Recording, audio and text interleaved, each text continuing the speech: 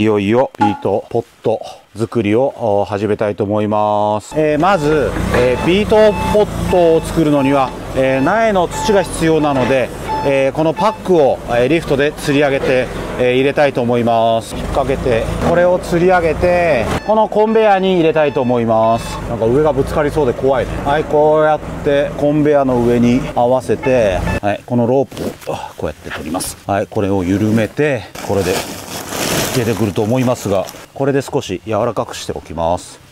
こんな感じで。はい OK です。この突起板ねこういうふうにあの盛り上がってまして、えー、この部分がこうペーパーポットが低くなって種が入って、えー、深さもちょうど良くなるという仕組みです。エアで、えー、突起板を掃除します。このペーパーポット分かります？こういう形の、えものですけど、えこれにこれをえ広げるんですよね。えそれで、このまず端っこにこういう、えー、串を刺しまして、えそれでこの、え日展さんのこの展開機、これは初代の、初代っていうか、今も変わってるんでしょうか。わからないですけど、え、これ、展開機に乗っけて、これで、えー、はいと置くと。え、そして、えーこれちょっと微調整まだ浮いて乗っかってるだけなんで端を合わせてこうちょっと揺さぶってあげると、えー、こういう風に入ります。そしてこれをこの土詰め機に置いて、えー、このコンベヤーで、えー、土を入れて、え作りたいと思います。で、えこれを、え先ほど開いたペーパーポットをこの土詰め機に設置します。はい。こうやって押し付けて、えー、ちゃんとしっかり入ってるかを確認して、え、そしてこの、え、コンベヤーのこトントンという土詰め用タイマーが2台あるんですけどこれ1台はコンベヤー用、えもう1台は、え土詰め機用で、えセッティングしてあります、えこのコンベヤーはねだいたい16秒ぐらいかな。はい。これスイッチ入れます。でここにあの土が入ります。はい、こうやってあの手で鳴らしながら入れるんですけど、えー、まあ、ある程度入ったらもう土積み機のスイッチをポンと押して、はい、こういう感じで、えー、土を詰めていきます。ちょっと多いぐらいがちょうどいいぐらいなんですけど、まあ、これは人それぞれやり方があると思いますが、はい、であの土詰め機も、えー、まあ、ある程度の回数になったらえー、止まるようにできています。これは、ね、コツがあるんで、ね、端がどうしても入りづらいんでこうやってこすりながら。やっぱこのこれでこすらないと。でこの端っこもこうやってこすりますでたまに潰れるんで、えー、そういう時にはこのピンセットでこう直しながらこういう風に。打っているとこうやって土がこぼれるんですよ。こうダーンダーンとこうやって。こぼれたらこのリターンコンベヤーでこうやって戻るんですね。こうやってこぼれたところがこうやって、えー、戻りまして。そしてこれがこういうふうに上がってこちらのコンベヤーの方に、えー、戻してくれるというそういう仕組みになってます。で、えー、ある程度来たら自動で止まります。はい、えー、自動で止まりました。まず先ほど抜いたこの串を抜いてえー、そしてこれを開けます。でこう真っ平らに平らにして、えー、そしてこの紙。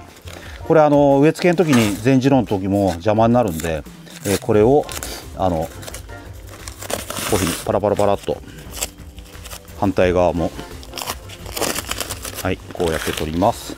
そしてあのこの鉄板をこのせてはい、そしてこのレバーを上げるとこれ浮き上がるので、えー、そしてあの浮いたらこうローラーになってますね。こうやってコロコロコロっとこちらに入ります。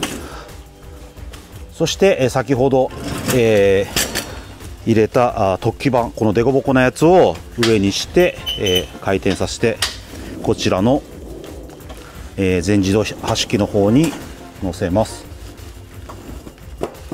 これあの位置がずれるとちょっとあれなんでここで合わせるんですけど、はい、そして開けるとはい。こんな感じで綺麗に出来上がります。そしてえこれをちょっと送ってあげるとここにスイッチがあるんですよね。あのここにカチャッと。でこれをパッと乗せるとあれ？なぜ今動かないかと思ったらこれここにあの先ほど作ったやつがあるんですけどこれここに乗ってるとここにスイッチがあってあの動かないようになってます。はい。そしてこれ上がったら動き出しました。はい。ここで重要です。はい。そしてこれ回り出します。はい。これが回り出して種がここから落ちるんですよ。はい。そして入ってくるとこうなると。見えますか？ねこれねすごい画期的。ここで種が入って下に落ちてくれる仕組みです。どうですか？すごく綺麗に入ってますよね。修正が必要ないぐらい、ね、種が入ってくれてます。これがねまたね何ちゅうんですかね。こうカチャカチャってやるとこう種が見てください。パチャッとこう落ちるようになってるんです。入ってないとこあるかな？ああたまにあるんですよねこうやってこれ。見えます？入ってないの。これをここにこう合わせてパチッと見えました？入るんですよ。全然綺麗で入れるとこないです。えーと出来上がったらこうやって見てもう綺麗に入ってるなと思ったらこの土を、えー、覆土この覆土をこうやって、えー、我が家ではこうやって手でちょっとこする感じだね。このぐらいこう綺麗にこすって、えー、乗せます。出来上がったやつ、えー、こうやって持っていきます。それでこの高結石膏の、えー、ポットの専用の昇降機の上にこうやって乗せます。はい。そしたらこうまあ、自動で下ろすようにしてあるんです。本当はレバーを引くんですけどここに固定しておけば、えー、自動で降ります、えー、そして、えー、これをこのように入れます。これちょっとコツがいるんだよね。いきますよ。ほっちょっと強めに押してこうやって入れると、えそして、えー、乗せたこの出来上がったここに置きます。こうやって合わせて。これ結構コツがいるんで。なんとなくこうまっすぐのラインを感じながらこういうふうに置くと、まあ、あとこういう目安を見ながらまっすぐに置くというのがコツです。こういうものでこういうふうに鳴らしてあげます。あのこういうところこういうところに隙間ができるとあの乾いて、えー、生育が悪くなるというか発芽しない場合もあるんで、え。あのこういうところはちゃんと手でこすって私はちゃんと入れてます。こういう感じでね。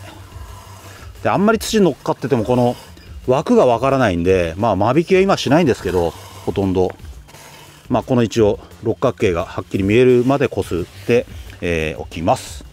以上です。この通路にカコムをこう4本置いてます。これ入れといた方が乾かないような気がするんです、えー、それで4つ置いてます。